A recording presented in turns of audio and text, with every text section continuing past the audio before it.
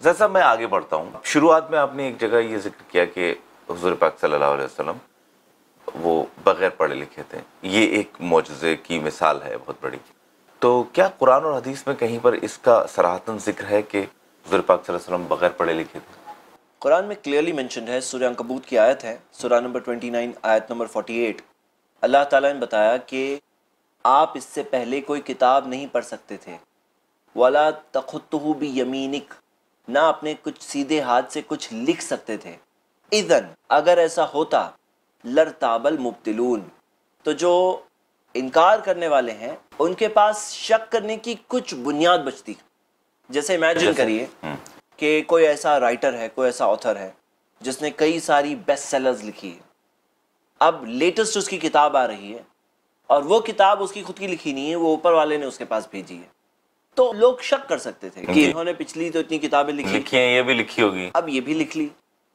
لیکن محمد صلی اللہ علیہ وسلم کی یونیکنس یہ ہے اور ہسٹوریکل دلائل اس بارے میں موجود ہے۔ ہم دیکھ سکتے ہیں کہ سیرت کی کتابوں میں یہ ویل نون ہے۔ اور عربز میں یہ بات کامن تھی اس زمانے میں کہ لوگ پڑھنا لکھنا نہیں جانتے تھے۔ نبی صلی اللہ علیہ وسلم کو اللہ تعالیٰ نے چنا۔ امیجن کریے کہ پہلی آیت جو قرآن کی ریویل ہو رہی ہے وہ ہے اقرا پڑھو۔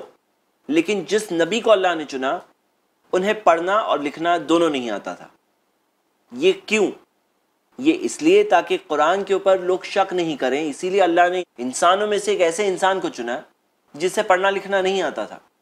اب سارے وہ راستے کہ جیسے کوئی کہے کہ پچھلے فلاسفرز ایرسٹوٹل وغیرہ کے ورک سے انسپریشن ہے یا پچھلی کوئی دینی مذہبی کتاب سے انسپریشن ہے تو اس کی کوئی دلیل نہیں بچتی۔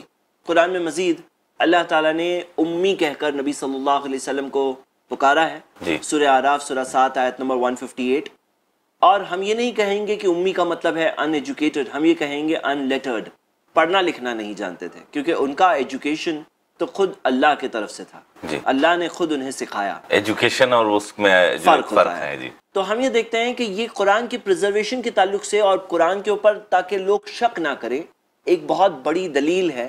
کہ جو انسان ہسٹوریکلی نون تھے کہ انہیں نہیں آتا تھا۔